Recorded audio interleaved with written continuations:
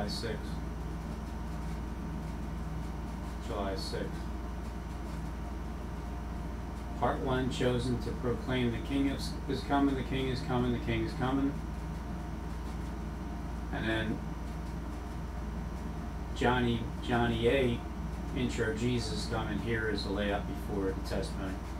You need to know where I had to go. I really want you guys to. I do. I'm gonna. I'm gonna be repetitive And then Johnny B. for Grand Junction. I told you we're gonna jump around a little bit. Grand Junction. I told you we're gonna jump around a little bit. Before I left for Grand Junction, it was guitar necks and. Very strange.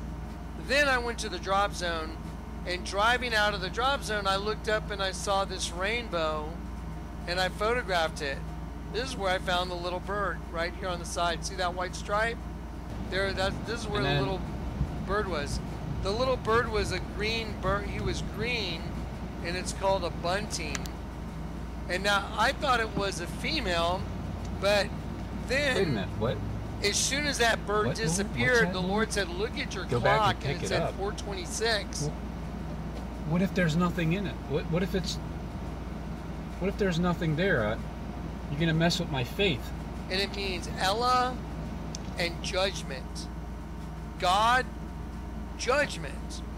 And I went, that is so weird. Then I heard the Lord say, go inside and look up the bird that just disappeared. So I went inside and I typed in bunting into Google Images so I would make sure I had, and there was the oh, same green little bird. Robin, it said better- bunting, and I clicked on it. And let me show you what happened. There it is. On the article about the bunting, I'm like, okay, the Lord told me to look it up.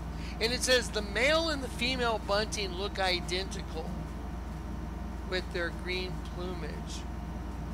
Up until the time the males leave, then they molt and their colors change to the color of a rainbow.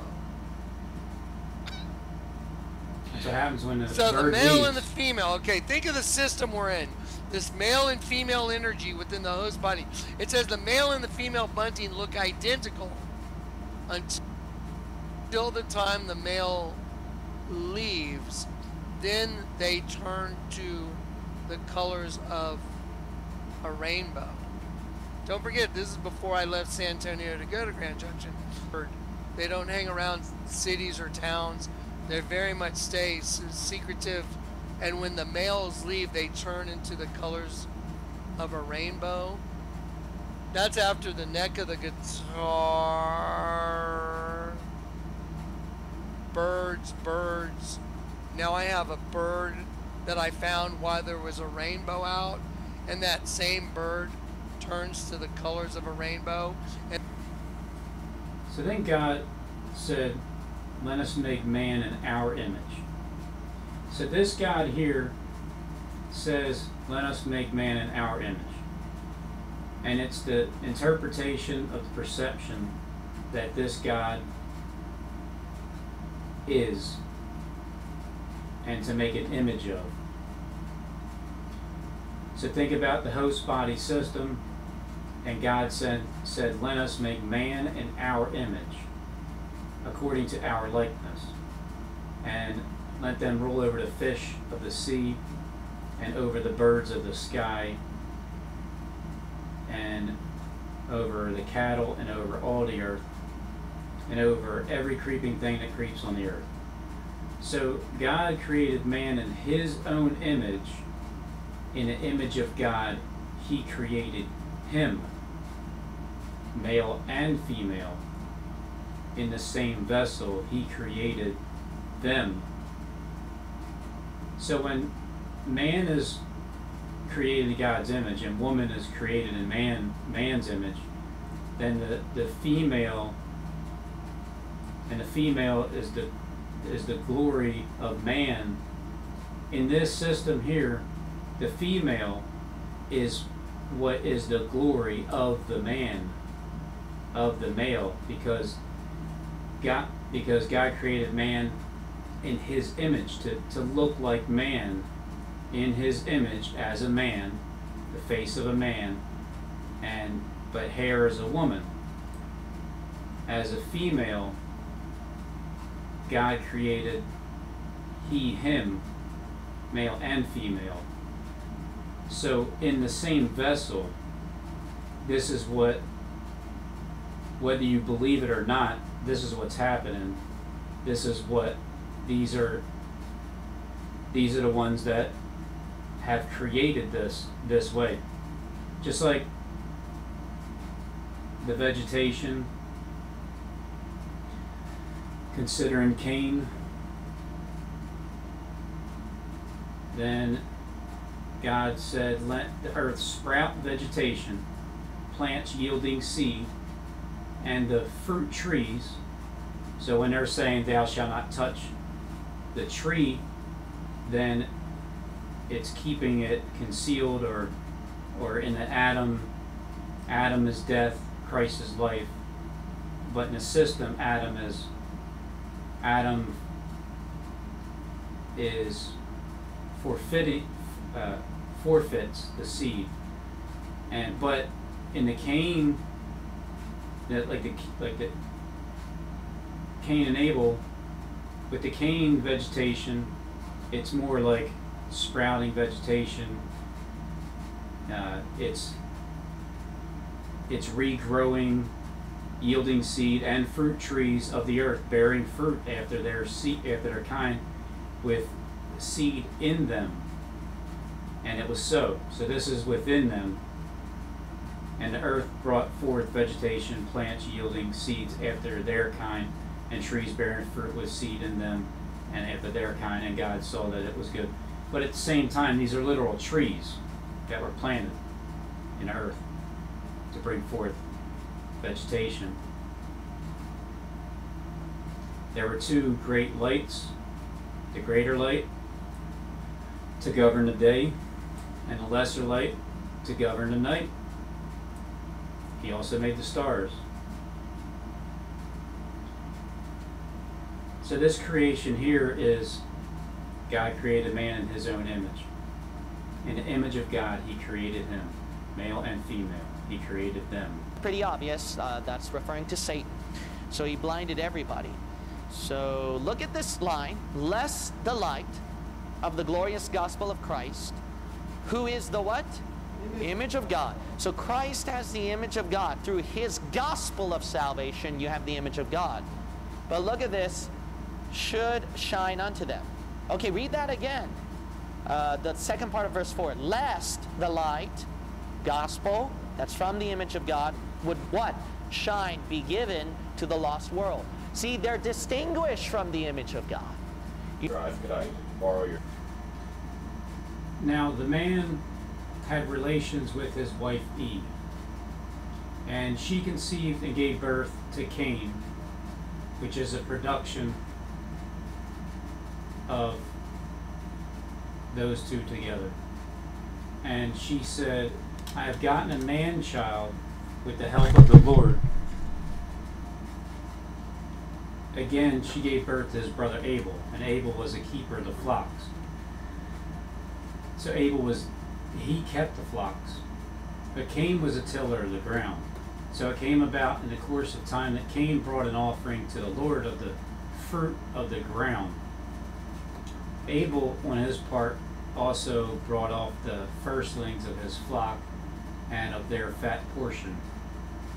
And the Lord God had regarded for Abel and his offering.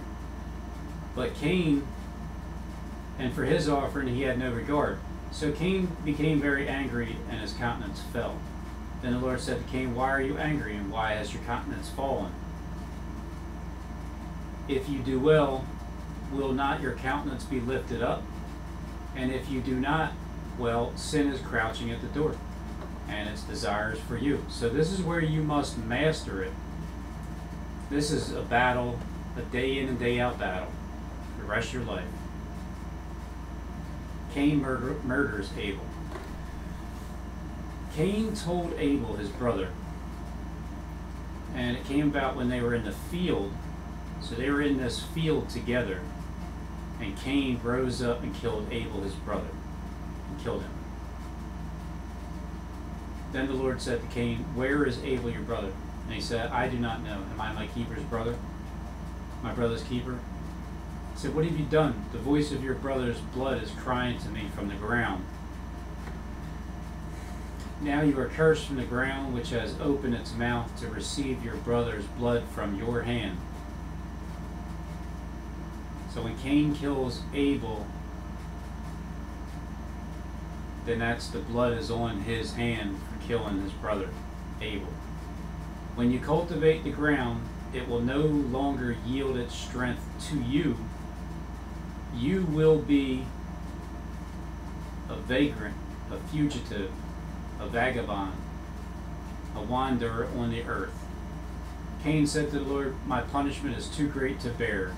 Behold, you have driven me this day from the face of the ground, and from your face I will be hidden, and I will be a vagrant and wanderer on the earth, and whosoever finds me will kill me. So the Lord said to him, Therefore, whosoever kills Cain, vengeance will be taken on him sevenfold. And the Lord appointed a sign for Cain, so that no one finding him would slay him. Then Cain went out from the presence of the Lord and settled in the land of Nod, east of Eden. Okay, now the Lord, I heard the Lord tell me before I moved on to finish Isaiah 54 because did you hear me just say all these people that have come against me? You know, I said they don't have very long left before their judgment comes. The ones that called me demonic and started channels and called themselves Robin Hood and all this other nonsense. They're about ready to meet the most horrifying fate they could even imagine. Yeah, Ready? Let me prove that. Ready? Let's prove that. Bring it, click. And if you are if you study these people who studied these ancient uh, artifacts and just made these discoveries, they'll mention that these people had a genius, a brilliance that was different from ours back then. So, so there is no doubt they had an advancement of technology then where they kind of figured out or knew where they could live longer and Five they step. live more healthy. It's like a five step rollout fence. Now let's look at Genesis 5 with the positive environment combined with the positive. I'm waiting for that. Like, I know I can live longer in a po- more positive environment where you just don't feel like Satan's attacking you anymore and you're living around people with the same like mind that are all telling you the truth and are all looking out for one another. I don't know what that feels like yet in a in a literal sense, but a spiritual sense, I know I'm not alone. Environment combined. So then uh, this uh, green uh, color right here could be some kind of resource. It's also possible they had a resource that time before the flood uh, destroyed everything. Let's look at Genesis chapter 5 and then uh, we read verse 5. And all the days that Adam lived, so all the timeline, the days that Adam lived were 930 years and he died. So Adam was able to live 930 years and then he finally passed away. Now, here's something that's amazing is that For nine years and what? some people they talk about what about the heathen who never heard the gospel? So Adam died. Now notice that uh, natural death, the first So this is the natural death is it, like to be slain by the word of God. To, to, to die in Christ, to, to turn to to Jesus. In other words, a natural death.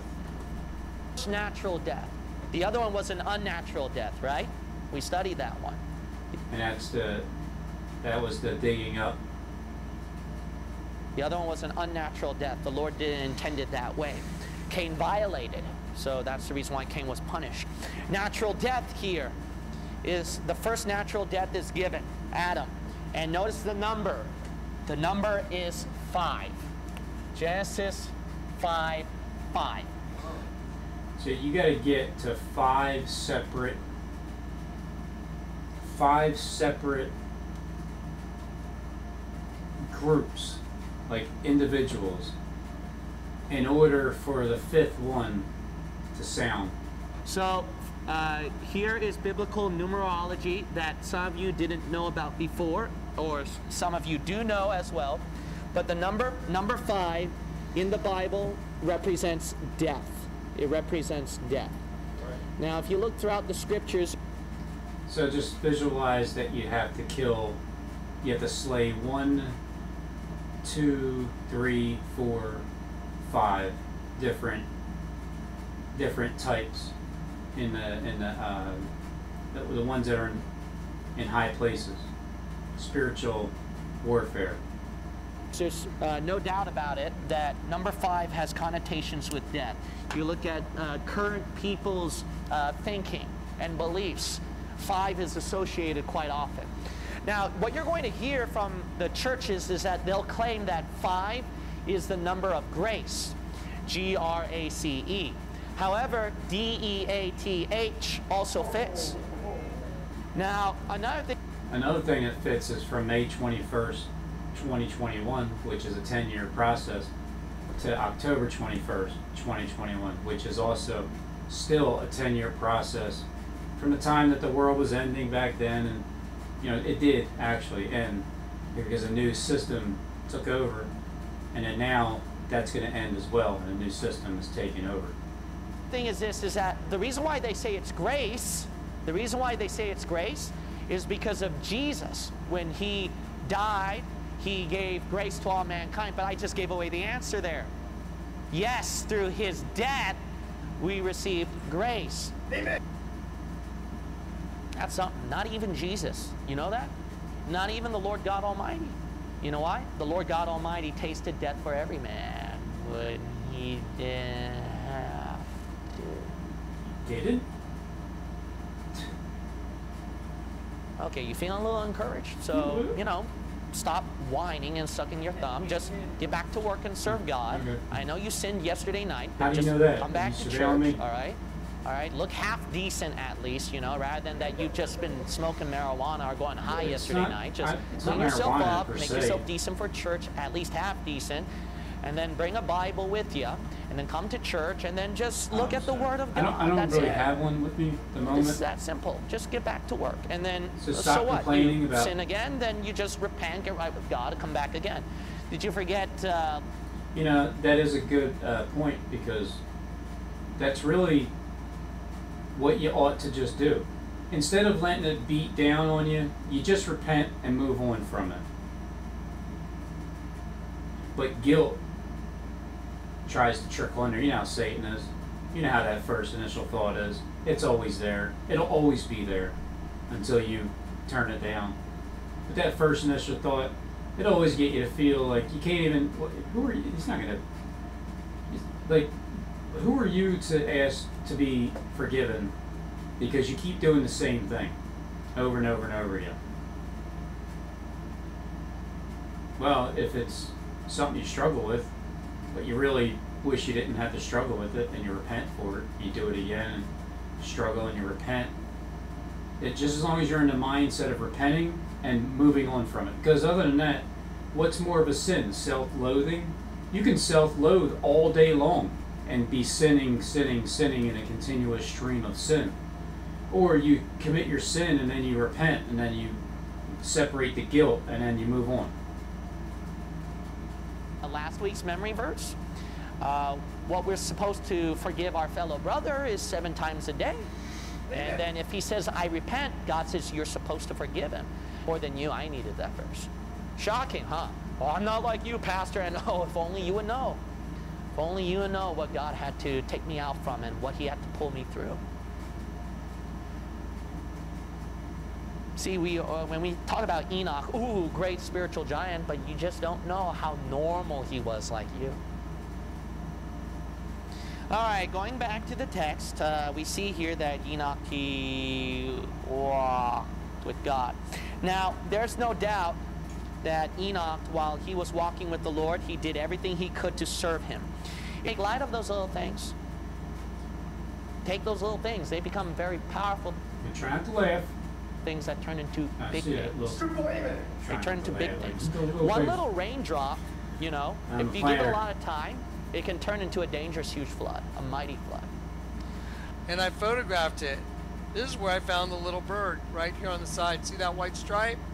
There, that this is where the little bird was. The little terror, for it shall not come near thee. Behold, they shall surely gather together, but not by me. Whosoever shall gather together against thee shall fall for thy sake. Behold, I have created the smith that bloweth the coals in the fire, and that bringeth forth an instrument for his work. And I have created the waster to destroy. No weapon that is formed against thee shall prosper, and every tongue that shall rise against thee in judgment thou shalt condemn. This is the heritage of the servants of the Lord, and their righteousness is of me. Okay, again, I just want you to know I don't take any pleasure in the people that are about to meet the most horrifying reality they could even imagine. I'm a servant of the Most High, guys. And, uh, I have been since I started the night I got converted. I'm showing you the miracles to get just to get you ready for what I just got through doing. The Lord sent me. He said it's time to go get those shipping containers. I want them to go to Houston. I was like, you want me to get the shipping containers and take them to the Ark? I think it's it's already pretty late, but I, I'm going to keep going. I'm going to get part one out. I'm going to show you at least the drive to Grand Junction in this video so you can see those miracles. And then after I document that, then part two, I'm going to go back and I'm going to show you what happened right before I left for Grand Junction. And you're not even going to believe that. I'm going to do it in kind of, again, a Quentin Tarantino type way where we're going to jump around a little bit so the impact of the miracles will blow your mind. You won't even believe it. Like I said, you're not going to believe it. But it all happened. It's all documented. And it all has timestamps. All glory to God. All right. So, did you just see how he showed me that I got him, that they're right where he wants them, up there in Grand Junction? How would the Lord tell the servant that he's coming for sure?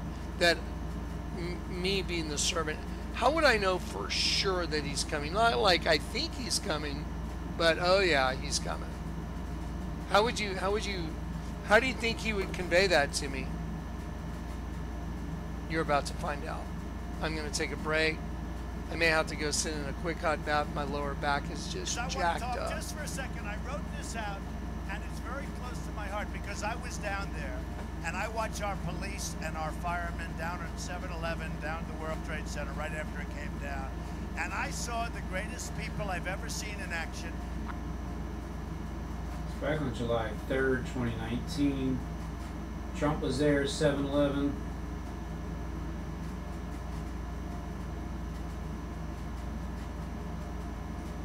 Then I did it again 2020, Trump was there 7 11, 11 7. Now, he wasn't there then either, not on 11 9. There was never a sec 9 11. It was not three in a row, nothing happened at 848. Has nothing to do with the 59th floor of Liberty, one building. So Trump was there though at 7 11?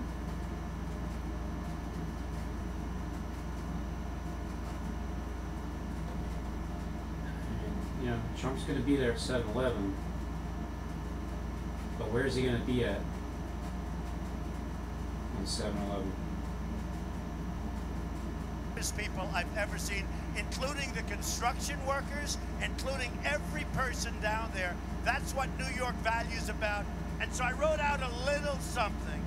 And I'd like to talk about the New York values that we all know so well. The va-